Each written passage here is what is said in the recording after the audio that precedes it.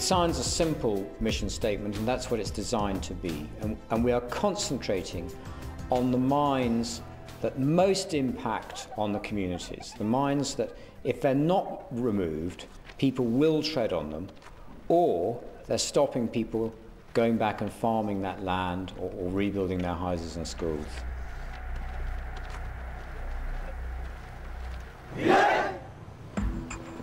With over 7,000 deminers at work in 10 different countries, the Halo Trust is the world's largest demining organization.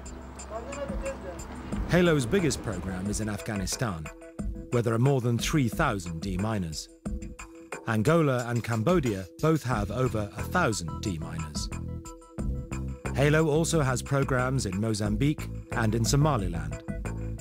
In the Caucasus, Halo is working in Nagorno-Karabakh and Abkhazia on the Black Sea. In the Balkans, they are in Kosovo. They are also operating in Sri Lanka. And in recent years, Halo's parallel weapons and ammunition disposal programs have been running in Angola, Afghanistan, and Cambodia. Today, these expanding programs are helping Halo's mission to destroy the debris of war in post-conflict countries.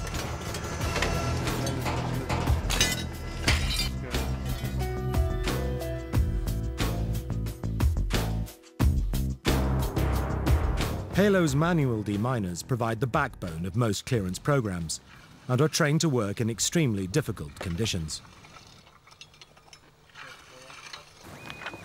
Many Halo clearance areas have hundreds of deminers at work.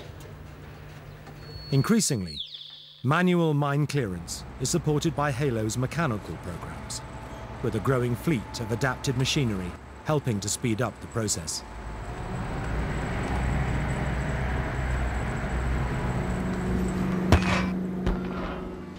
These mechanical assets are invaluable in areas where manual deminers are slowed down by thick vegetation, compacted rocky soil, collapsed buildings and trenches, or excessive metal contamination from fighting.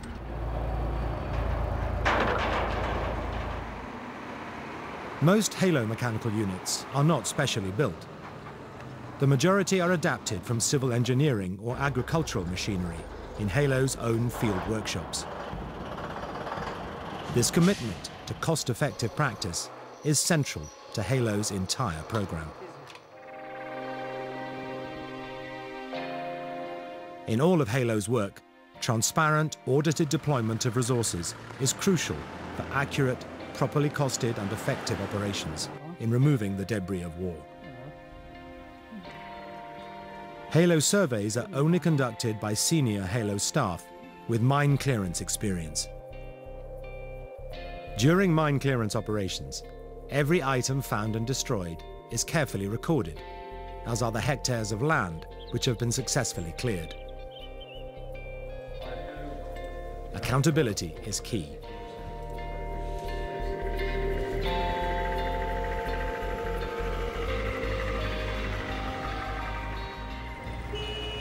Mine clearance can be expensive, and in Halo's case, with a 7,000 employees, our wage bill every month does seem very, very high. But once the program is up and running, it's a fairly measurable and predictable cost for each demining team.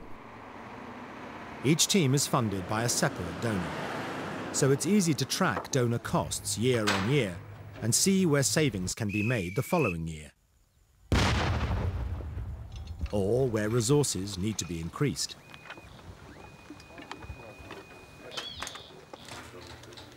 Finance officers from Halo's headquarters in Scotland travel to each country and internally audit all accounts, whilst regional desk officers spend one-third of their time in the field.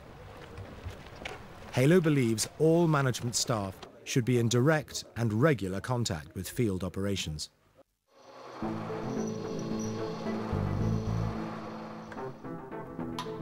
Halo's research and development program allows new mine clearance technology and practices to be evaluated in the field. New technology includes the latest American mine detector, which uses ground-penetrating radar to not only detect metal in the ground, but also the shape of mines under the surface. Instead of a deminer working over perhaps 5, 10, 25 square meters a day, the deminer with, with one of these detectors can clear 100 meters a day. If we can get more of these detectors deployed in the field, we could reduce the years of mine clearance down from what might be four more years' work down to perhaps only two more years' work.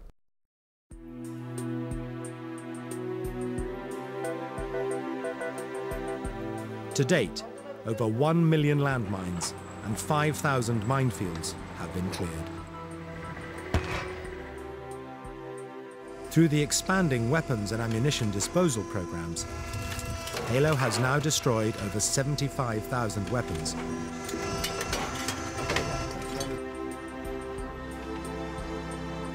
and over 50 million bullets.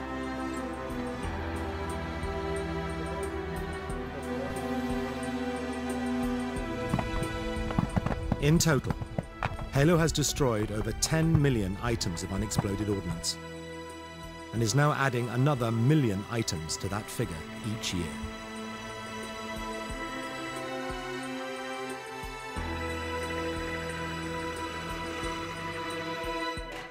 Meanwhile, Halo's mine risk education teams are working to warn communities, and particularly children, of the dangers of minefields and unexploded ordnance. Whilst Halo places great emphasis upon educating those forced to live amongst the debris of war, it believes the only sure way of avoiding future casualties is through the deployment of its demining teams.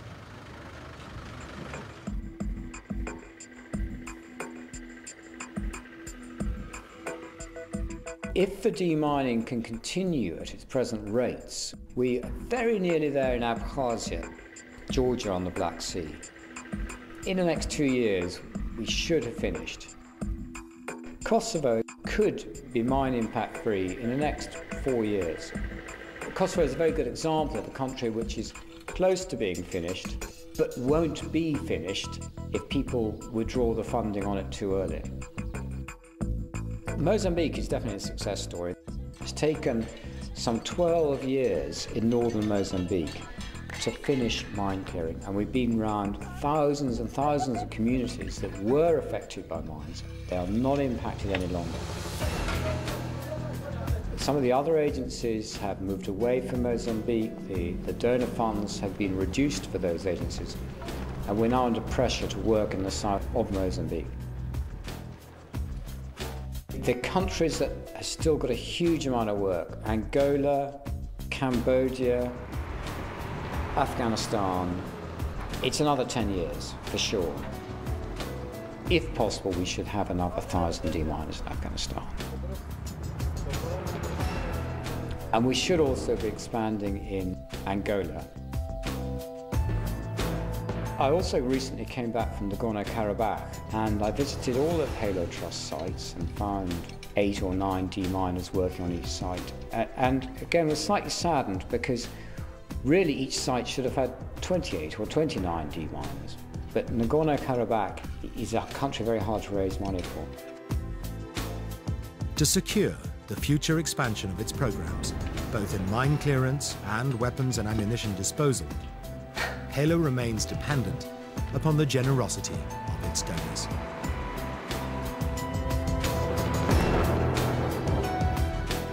The ultimate goal for Halo Trust must be we should see a world where, where people are not treading on landmines and see a world where people are able to drive down roads where they are not driving onto an anti-tank.